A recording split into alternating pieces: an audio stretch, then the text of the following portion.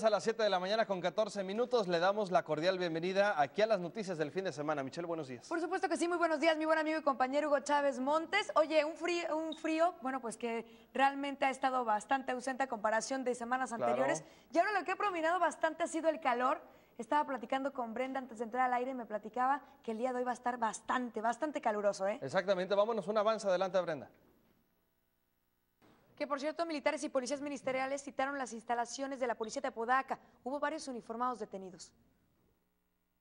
22 grados la temperatura y algunas llamadas ya menos 40 40 4300. Por supuesto que sí, nos están reportando eh, que ayer se tronó un transformador. Precisamente tenemos varias llamadas. En unos minutos más estaremos dando todos los detalles de dónde ocurrió, en qué municipio, para que las autoridades tomen cartas en el asunto. Corte comercial, regresamos con esto. Con los detalles. Le comento también que un joven que el sábado fue baleado por un comando armado en la colonia Independencia finalmente falleció en el hospital universitario.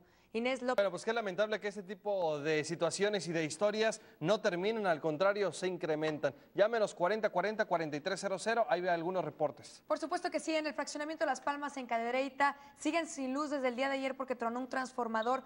Eh, ellos comentan que han estado hablando a la Comisión Federal de Electricidad, al 071 desde el día de ayer, pero que no han tenido ninguna respuesta. Estamos recibiendo todas sus denuncias, como este tipo también, a través del 40 40 4300. Nos vamos a la pausa comercial, regresamos con la información de los deportes, señor.